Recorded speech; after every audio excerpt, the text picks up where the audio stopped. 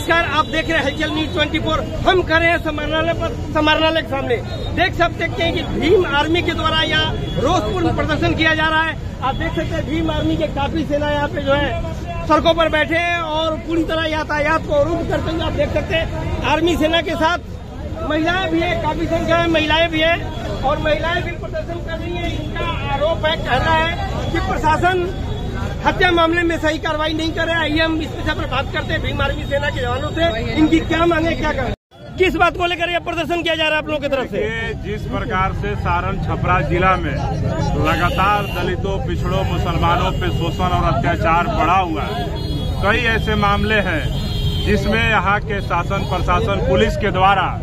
कोई कार्रवाई नहीं किया जा रहा है। कोई भी अपराधी सलाखों के पीछे नहीं भेजा जा रहा है। इस पे सवाल है कि आखिर क्यों अपराधियों के यहाँ के जिला प्रशासन पुलिस के लोग संरक्षण दे रहे हैं? और यहाँ पे लगातार घटना बढ़ा हुआ है और घटना बढ़ने के बाद भी पुलिस जो है कान में तेल डाल करके सोई हुई है। अभी सूरज की हत्या हो गई।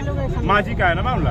कोपा थाना अंतर्गत मामला है, जहाँ पे सूरज कुमार की हत्या कर दी गई और अभी तक अपराधी गिरफ़्तार नहीं हुआ है और वहाँ के स्थानीय विधायक के दबाव में आकर के वहाँ की थाना जो है, एक भी अपराधी को गिरफ़्तार नहीं कर रही है उन पर कोई कार्रवाई नहीं कर रही है। सीधे तौर पे दिखा रहा है कि छपरा जिला में सफ़ेद पोषों के द्वारा यहाँ पे शासन और प्रशासन को कंट्रोल किया जा रहा है और यहाँ पे कानून व्यवस्था कहीं नहीं है। यहाँ पे आम दलित पिछड़ा मुसलमान सब लोग शोषित है प्रताड़ित है। इनके ऊपर जुल्म अत्याचार बढ़ा हुआ है।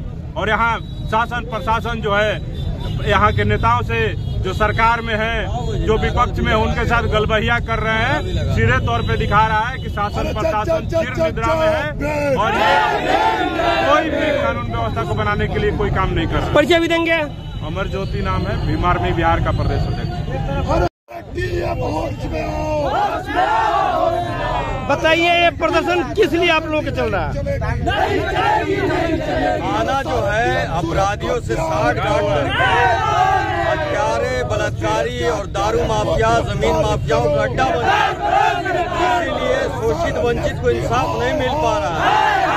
मैं सा, सारण इसलिए आया हूँ जितने थाना अध्यक्ष है एसडीओ है डीएम एसपी है वो जो शपथ लेते हैं नौकरी पे वो शपथ को मेरे सामने दे रहा और शोषित वंचित की हत्याएँ हो रही है और अपराधी थाना में घूम कर जा रहा है। गिरफ्तारी नहीं हो रही है। मेडिकल चेंज किया जा रहा है। पूरे बिहार का माहौल नीतीश सरकार में बिगड़ चुका है। जो शोषित वंचित समाज है धार्मिक अल्पसंख्यक समाज है, आज खौफ के माहौल में किया ऐसे में आज़ाद समाज पार्टी भीम आर्मी अपना डंडा और झंडा लेकर इनको जगाने का काम कर रही है और अगर डीएम ने यहाँ कार्रवाई नहीं की, अपराधियों को गिरफ़्तार नहीं किया, चोर, डकैत, माफिया से मिले हुए इनके पुलिस ऑफिसर को बर्खास्त नहीं किया तो उन्नीस अक्टूबर को पटना में मुख्यमंत्री के घेराव का ऐलान आज और यहीं से होगा। पर्चा भी देंगे अपना।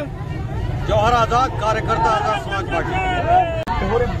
ज़ोर अत्याचार के विरोध में हमारे भीम आर्मी जिला तथा प्रदेश कमेटी के द्वारा एक दिवसीय धरना प्रदर्शन का आयोजन किया गया है। जिसमें डीएम और एसपी के कार्यालय घेर करके ज्ञापन देंगे। कोपा में, कोपा के बस जिला में सूरज कुमार की हत्या हो जाने के बाद वो हत्यारा पुलिस के साथ बैठ करके खाना खाता है और यहाँ का पुलिस जो है कह रहा है कि साइड दो साइड दो। चुनाव के समय में ये दो महीना रोड बनता है, आम जनता के लिए।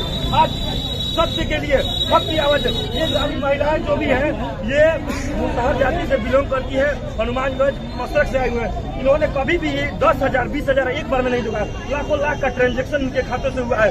बैंक और धोखाधड़ी जो भी दलाल है, उनसे मिल करके लाखों लाख रुपए का ट्रांजेक्शन इन पे नोटिस आएगा जीएसटी भरो। कहाँ से देंगे ये लोग? कौन देगा?